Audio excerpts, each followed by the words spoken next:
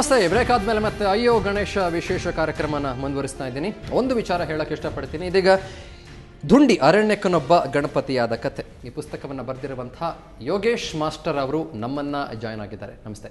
ನಮಸ್ತೆ. ಇದ್ರ ಬಗ್ಗೆ ಸಾಕಷ್ಟು ಚರ್ಚೆಯನ್ನು ನಾವು ಅವಾಗಲಿಂದ ಮಾಡ್ತಿದ್ದೀವಿ. ಇದಕ್ಕೆ ಪುರಾವೆಗಳು ಇದಕ್ಕೆ ಸಾಕ್ಷ್ಯಾಧಾರಗಳು ಏನನ್ನ ಮನಸ್ಸಿನಲ್ಲಿ ಇಟ್ಕೊಂಡು ಯೋಗೇಶ್ ಮಾಸ್ಟರ್ ಅವರು ಈ ಪುಸ್ತಕವನ್ನು ಬರೆದ್ರು ಅನ್ನೋ ವಿಚಾರ ಎಲ್ಲರನ್ನೂ ಕಾಡ್ತಿದೆ. ಏನಂತೀರಿ ಯೋಗೇಶ್ ಅವರೇ? ನಾನು ಒಬ್ಬ ಇದರಲ್ಲಿ ವಿದ್ಯಾರ್ಥಿಯಾಗಿ ಕೆಲಸ ಮಾಡಿದ್ದೇನೆ. ಒಬ್ಬ ಲೇಖಕ ಕಲಾವಿದನಾಗಿಯೂ ಕೂಡ ಕೆಲಸ ಮಾಡಿದ್ದೇನೆ. ನನಗೆ ಆಸಕ್ತಿ ಇದ್ದಂತಹ ಗಣಪತಿಯ ವಿಷಯದಲ್ಲಿ ನನಗೆ ಏನೇನು ವಿಷಯಗಳು ಸಂಗ್ರಹಣೆ ಆಗ್ತಾ ಹೋದವೋ ಅದನ್ನೆಲ್ಲನೂ ಸೇರಿಸ್ಕೊಂಡು ಪೌರಾಣಿಕವಾಗಿರುವಂತಹ ವಿಷಯಗಳನ್ನು ಕೂಡ ಗಮನದಲ್ಲಿಟ್ಟುಕೊಂಡು ಈ ದಿ ಎರಡರ ಮಧ್ಯದಲ್ಲಿ ವಾಸ್ತವಾಂಶ ಅಂತ ಯಾರು ಹೇಳಿದಾರೋ ಅದು ನನಗೆ ನಾನು ಮಾಡಿರೋ ಸಂಶೋಧನೆಗಳಲ್ಲ. ಈ ಪುರಾಣದಲ್ಲಿ ಏನೇನು ಹೇಳಿದೆಯೋ ಅದು ಕೂಡ ನನ್ನ ವಿಷಯಗಳಲ್ಲ. ಆದರೆ ಈ ಎರಡು ವಿಷಯಗಳ ನಡುವೆ ಯಾವ ರೀತಿಯಲ್ಲಿ ತಾಳೆ ಆಗಬಹುದು ಅಂತ ನೋಡಿದ್ದೇನೆ. ನನ್ನ ಒಂದು ಮಾನವ ಸಹಜವಾದ ನೆಲೆಗಟ್ಟಿನಿಂದ ತೀರಾ ಅಮೂರ್ತವಾಗಿರೋದು ಅಲ್ಲದೆ ತೀರಾ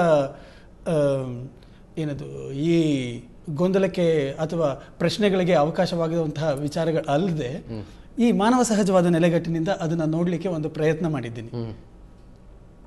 ಅಂದ್ರೆ ನೀವು ಬರೆದಿರುವಂತಹ ಪುಸ್ತಕ ಪ್ರಶ್ನೆಗಳಿಗೆ ಇಲ್ಲಿ ಎಡೆ ಮಾಡ್ಕೊಡ್ತಿಲ್ಲ ಅಂತ ನಿಮ್ಮ ಉತ್ತರನ? ಇಲ್ಲ ಇಲ್ಲ. ನಾನು ಅದೇನು ಹೇಳೇ ಇಲ್ಲ. ಇದು ನಿಮ್ಮ ಪ್ರಶ್ನೆ.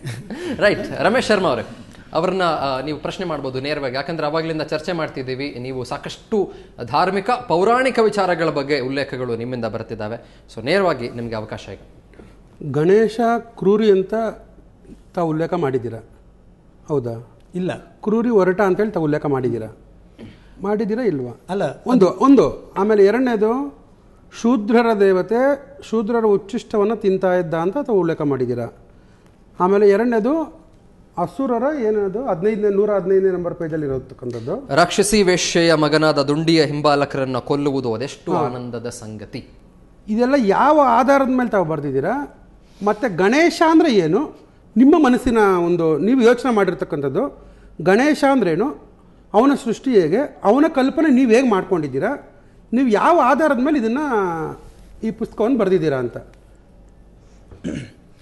ಈ ಆಧಾರಗಳ ವಿಷಯವಾಗಿ ತಗೊಂಡ್ರೆ, ಈ ಬೇಕಾದ ನನ್ನ ಕೃತಿಯ ಕೊನೆಯಲ್ಲಿ ಅದನ್ನೆಲ್ಲನೂ ಉಲ್ಲೇಖನ ಉಲ್ಲೇಖ ಮಾಡಿದ್ದೀನಿ. ಈ ಎಲ್ಲ ಪುಸ್ತಕಗಳು ಆಧಾರ ಗ್ರಂಥಗಳೇ ನನಗೆ. ಆಮೇಲೆ ಗಣೇಶ ಅಂದರೆ ನಾನು ಏನು ತಿಳ್ಕೊಂಡಿದ್ದೀನಿ ಅಂತ ಅಂದ್ಬಿಟ್ಟು ನಾನು ಅದನ್ನು ಹೇಳಿದೆ. ಗಣೇಶ ಅಂದರೆ ಸಣ್ಣ ವಯಸ್ಸಿನಿಂದ ನಾವೆಲ್ಲರೂ ಹೇಗೆ ಭಕ್ತಿ ಭಾವದಿಂದ ನೋಡ್ತಾರೆ, ಆ ರೀತಿಯಲ್ಲಿ ನೋಡ್ತಾ ಇದ್ದಂಥ ಒಬ್ಬ ಒಬ್ಬ ಹುಡುಗನೇ. ನಾನು ಆಸ್ತಿಕನೂ ಕೂಡ ಆಗ. ಆ ಸಮಯದಲ್ಲಿ ಬೆಳವಣಿಗೆಗಳೆಲ್ಲ ನಡೆದು ವಿ- ವೈಚಾರಿಕವಾಗಿ ಅದನ್ನು ಪ್ರಶ್ನಿಸ್ತಾ, ಅದ್ರ ಬಗ್ಗೆ ವಿಶ್ಲೇಷಣೆಗಳನ್ನ ಮಾಡ್ತಾ, ಹೀಗೆ ಒಂದು ಹಂತದಲ್ಲಿ ಈ ರೀತಿಯಾದ ಒಂದು ವಿಚಾರಗಳು ಬಂದು ಇದನ್ನು ಸತ್ಯ ಅಂತ ಸಾಧಿಸ್ಲಿಕ್ಕೋ ಅಥವಾ ವಾದಿಸ್ಲಿಕ್ಕೋ ಅಲ್ಲ, ಈ ಥರದ ವಿಚಾರಗಳನ್ನು ನಾನು ಒಂದು ತಾಳೆ ನೋಡಲಿಕ್ಕೆ ಅಥವಾ ಒಂದು ರೀತಿಯ ಅಧ್ಯಯನ ಮಾಡಲಿಕ್ಕೆ ಅನಾಲಿಸಿಸ್ ಮಾಡಲಿಕ್ಕೆ ಪ್ರಯತ್ನ ಮಾಡಿದ್ದೀನಿ. ಇನ್ನೇನೂ ಇಲ್ಲ. ಪೌರಾಣಿಕವಾಗಿ ಗಣಪತಿಯ ತಲೆ ಗಣಪತಿಗೆ ವೈಜ್ಞಾನಿಕವಾಗಿ ಚಿಂತನೆ ಮಾಡೋದಾಗಿತ್ತು ಅಂತಂದರೆ ಗಣಪತಿ ತಲೆಯನ್ನು ಮನುಷ್ಯ ಕತ್ ಕತ್ತರಿಸಿರೋದು, ಅದಕ್ಕೆ ಆನೆ ತಲೆಯನ್ನು ಜೋಡಿಸ್ಲಿಕ್ಕೆ ಸಾಧ್ಯವಾಗದಿರೋದು, ಹಾಗಿದ ಮೇಲೆ ಇದು ಹೇಗಿದ್ದಿರಬಹುದು? ಪುರಾಣಗಳು ಸುಳ್ಳು ಹೇಳ್ತಾ ಇಲ್ಲ. ಅವುಗಳು ಏನೋ ಹೇಳ್ತಾ ಇದೆ, ಏನೋ ಮೂಲಭೂತವಾಗಿ ಏನೋ ಒಂದು ವಿಷಯಗಳನ್ನು ಇಟ್ಟುಕೊಂಡಿದೆ. ಆ ಅಂಶಗಳು ಏನಿದ್ದಿರಬಹುದು ಈ ರೀತಿಯಾದ ಒಂದು ಚಿಂತನೆಗಳು ನಡೆದು ಇಲ್ಲಿವರೆಗೂ ಬಂದು ನಿಂತಿದೆ. ಈ ಕಾದಂಬರಿ ರೂಪಕ್ಕೆ ಬಂದು ನಿಂತಿದೆ. ಸರಿ ಇದಕ್ಕೆ ನಾನು ಮಧ್ಯ ಇಂಟರ್ವ್ಯೂನ್ ಮಾಡ್ತೀನಿ. ನಾನು. ಮಧ್ಯ ಇಂಟರ್ವ್ಯೂನ್ ಮಾಡ್ತೀನಿ. ನೀವು ಒಪ್ಕೊಂಡಿದ್ದೀರಿ. ನೀವು ಬಳಸಿರೋ ಸೋರ್ಸ್ಗಳನ್ನು ಕೊನೆಯಲ್ಲಿ ಉಲ್ಲೇಖ ಮಾಡಿದ್ದೀರಿ ಅಂತ. ನೀವು ಬಳಸಿರೋ ಯಾವುದೇ ಸೋರ್ಸು ಮೂಲ ಸೋರ್ಸ್ ಅಲ್ಲ. ಎಲ್ಲವೂ ಸೆಕೆಂಡರಿ ಸೋರ್ಸಸ್ ಈಗ ನಾಳೆ ನಾನು ಏನೊಂದು ಪುಸ್ತಕ ಬರಿಬೇಕಾದ್ರೆ ಡುಂಡಿ ಅನ್ನುವಂತ ನಿಮ್ಮ ಕಾದಂಬರಿಯನ್ನು ಬಳಸಿ ಬರಿತೀನಿ ಅಂತಂದ್ರೆ ಅದು ಕೂಡ ಒಂದು ಸೋರ್ಸ್ ಅಂತ ಕನ್ಸಿಡರ್ ಆಗುತ್ತೆ. ಆದರೆ ಸಂಶೋಧನಾ ವಿಚಾರಕ್ಕೆ ಬಂದಾಗ ಇದನ್ನ ಸೋರ್ಸ್ ಅಂತ ಯಾವ ಲೆಕ್ಕಕ್ಕೂ ಕನ್ಸಿಡರ್ ಮಾಡ್ಲಿಕ್ಕೆ ಆಗಲ್ಲ ಮೂಲಕ್ಕೆ ಹೋಗಬೇಕು. ನೀವು ಇದರಲ್ಲಿ ಉಲ್ಲೇಖ ಮಾಡಿದ್ರಲ್ಲಿ ಯಾವುದೂ ಮೂಲ ಇಲ್ಲ. ಮತ್ತು ಸುಮ್ಮನೆ ಇದರ ಉಲ್ಲೇಖವನ್ನು ನೋಡಿದಾಗಲೆಲ್ಲ ನೋಡಿದ ತಕ್ಷಣ ಗೊತ್ತಾಗುತ್ತೆ ಯಾವುದು ಅತ್ತ ದಿಕ್ಕಿನಿಂದ ಇರಬಹುದು ಅತ್ತ ದಿಕ್ಕಿಂದ ಅಂತ ನೀವು ಅರ್ಥ ಮಾಡ್ಕೊಂಡಿರ್ಬೋದು. ನಮ್ಮ ದಿಕ್ಕು ಅಲ್ಲದ ಯಾವುದಿದೆಯೋ ಮತ್ತೊಂದು ದಿಕ್ಕಿದೆಯೋ ಆ ದಿಕ್ಕಿನಿಂದ ಇರುವಂಥ ಎಲ್ಲ ಸೋರ್ಸ್ಗಳನ್ನು ಉಲ್ಲೇಖ ಮಾಡಿ, ಅದರಲ್ಲಿ ಬರ್ಬೋದಾದಂಥ ಎಲ್ಲ ಸಾಲುಗಳನ್ನು ಹೆಕ್ಕಿ ಹೆಕ್ಕಿ ನೀವು ನಿಮ್ಮದೇ ಆದೊಂದು ಕಲ್ಪನೆಗಳನ್ನು ಬೆಳೆಸ್ಕೊಂಡಿದ್ದೀರಿ. ಈ ಸೋರ್ಸ್ಗಳು ಅದೇ ಹೇಳ್ತೇವೆ. ನೀವು ನೀವು ಹೇಳ್ತಿರೋ ಸೋರ್ಸ್ನಲ್ಲಿ ಯಾವುದರಲ್ಲೂ ಮೂಲ ಇಲ್ಲ, ಯಾವುದೂ ಮುದ್ಗಲ ಪುರಾಣದ್ದಲ್ಲ, ಅಥವಾ ಯಾವುದೇ ಯಾಜ್ಞವಲ್ಕೆ ಸ್ಮೃತಿದಲ್ಲ, ಇಲ್ಲೆಲ್ಲೂ ಉಲ್ಲೇಖ ಇಲ್ಲ. ನೀವು ಅದನ್ನು ಆಧಾರವಾಗಿ ಇಟ್ಕೊಂಡು ನನ್ನದೇ ಒಂದು ಅನಾಲಿಸಿಸ್ ಮಾಡುವಂಥ ಒಂದು ಚಿತ್ರಣವನ್ನ ನ್ಯೂಸ್ ಮತ್ತು ಅನಾಲಿಸಿಸ್ ಎರಡಿರುತ್ತೆ. ಅನಾಲಿಸಿಸ್ ಹಿಡ್ಕೊಂಡು ಇನ್ನೊಂದು ಪುಸ್ತಕ ಬರೆಯೋದಿದೆಯಲ್ಲ, ಅದು ತುಂಬ ಡೇಂಜರಸ್ ಕ್ರಿಯೆ. ಹೇಗೆ ನೀವು ಆ ಥರದೊಂದು ಡೇಂಜರಸ್ ಪ್ರಯತ್ನ ಇಲ್ಲಿ ಮಾಡಿದ್ದೀರಿ. ಇದರಿಂದ ಕೋಟ್ಯಂತರ ಜನರ ಮನಸ್ಸಿಗೆ ಭಾವನೆಗಳಿಗೆ ಧಕ್ಕೆಯಾಗಿದೆ ಅನ್ನೋದು ಇವತ್ತಿನ ವಿಚಾರ. ಇದಕ್ಕೆ ನೀವೇನು ಹೇಳ್ತೀರಾ ಅನ್ನೋದು ಬೇಕು ನಮಗೆ. ಇಲ್ಲಿ ನಾನು ಇನ್ನೊಂದು ವಿಚಾರ. ಈ ರೀತಿಯ ಇಲ್ಲ ಒಂದು ನಿಮಿಷ ಹೇಳಿ ಹೇಳಿ. ಹೇಳಿ. ಇಲ್ಲಿ ನಾನು ನಾನು ಸಂಶೋಧನಾ ಪ್ರಬಂಧವನ್ನಾಗಲಿ ಅಥವಾ ಆ ರೀತಿಯಲ್ಲಿ ನಾನೇನು ಬರಿತಾ ಇಲ್ಲ. ಇದೊಂದು ಫಿಕ್ಷನ್ ನಾವಲ್ ಫಿಕ್ಷನ್ ಫಿಕ್ಷನ್ ಹೌದು ಇದೊಂದು ಕಾದಂಬರಿ. ಆದರೆ ಇದರ ಒಳಗಡೆ ಸಿಕ್ಕಿರುವಂತಹ ಈ ನಾನೇನು ಉಲ್ಲೇಖ ಮಾಡಿದ್ದೀನೋ ಆ ಗ್ರಂಥಗಳಲ್ಲಿರುವಂತಹ ವಿಚಾರಗಳು ಮತ್ತು ಪೌರಾಣಿಕ ವಿಷಯಗಳು ಇವೆರಡನ್ನ ಕೂಡ ತಾಳೆ ನೋಡಲಿಕ್ಕೆ ಪ್ರಯತ್ನ ಮಾಡಿದ್ದೀನಿ ಅಂತ ಹೇಳಿದ್ದೀನಿ. ಇದು ಫಿಕ್ಷನ್ ಇದು. ಖಂಡಿತವಾಗಿ ಇದು ಸಂಶೋಧನಾತ್ಮಕ ಗ್ರಂಥ ಅಲ್ವಲ್ಲ ಒಂದು ಎರಡನೇದು. ಒಂದು ಫಿಕ್ಷನ್ನಲ್ಲಿ ಕೋಟ್ಯಂತರ ಜನ ಆರಾಧಿಸುವ ಒಂದು ದೇವರನ್ನ ಹೀಗೆ ನಿಂದಿಸುವಂತ ರೈಟ್ಸ್ ಇದೆಯಾ? ಸಂವಿಧಾನಾತ್ಮಕ ಹಕ್ಕಿದೆಯಾ ಈಗ ಇದಕ್ಕೆ ಫಿಕ್ಷನ್ ಇದಕ್ಕೆ ಯಾವುದೇ ಸಂಶೋಧನಾತ್ಮಕ ಗ್ರಂಥ ಅಲ್ಲ.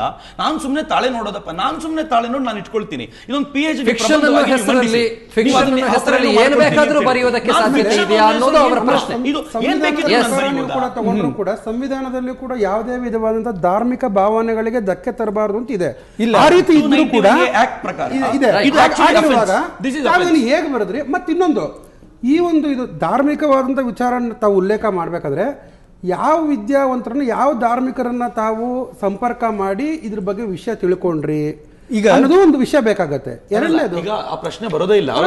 ಇದು ಸಂಶೋಧನಾ ಗ್ರಂಥ ಅಲ್ವೇ ಅಲ್ಲ ಇದು ಫಿಕ್ಷನ್ ಅಂತ ಒಪ್ಕೊಂಡ್ಮೇಲೆ ಯಾವ್ದಾದ್ರೂ ಈ ಪ್ರಶ್ನೆ ಬರೋದೇ ಇಲ್ಲ. ಆದ್ರೆ.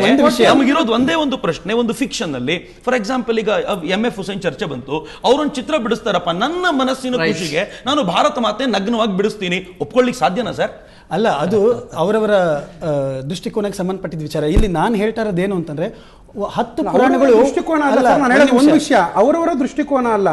ನೀವು ಸಮಾಜದಲ್ಲಿ ಒಂದು ಹೊರಟಿದ್ದೀನಿ. ಎಲ್ಲರ ಒಂದು ದೃಷ್ಟಿಕೋನ ಓಕೆ ಆಲ್ ರೈಟ್ ಕ್ಷಮಿಸಬೇಕು ಸಮಯದ ಅಭಾವ ಇದೆ. ನಾನು ಅಲ್ಲ ಈಗ ನಾನು ಹೇಳೋದು ಇಷ್ಟೇ. ಓಕೆ.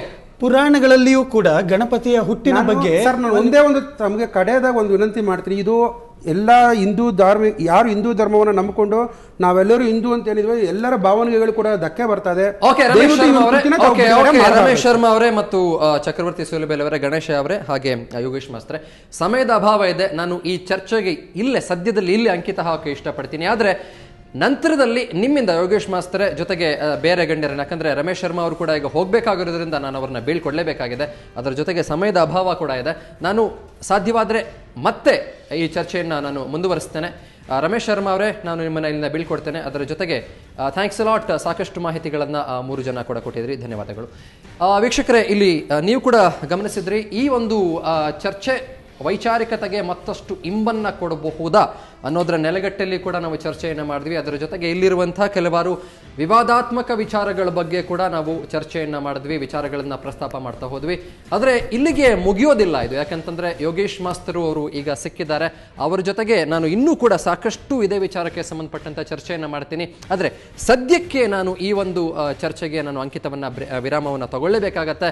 ಸದ್ಯಕ್ಕೆ ಚರ್ಚೆಯನ್ನು ನಾನು ಇಲ್ಲಿ ಮುಂದುವರಿಸ್ತಾ ಇದ್ದೀನಿ ಮುಗಿಸ್ತಾ ಇದ್ದೀನಿ. ನೇರ ದಿಟ್ಟ ನಿರಂತರ ಸುದ್ದಿಗಾಗಿ ನೋಡ್ತಾ ಇರಿ ಸುವರ್ಣ ನ್ಯೂಸ್.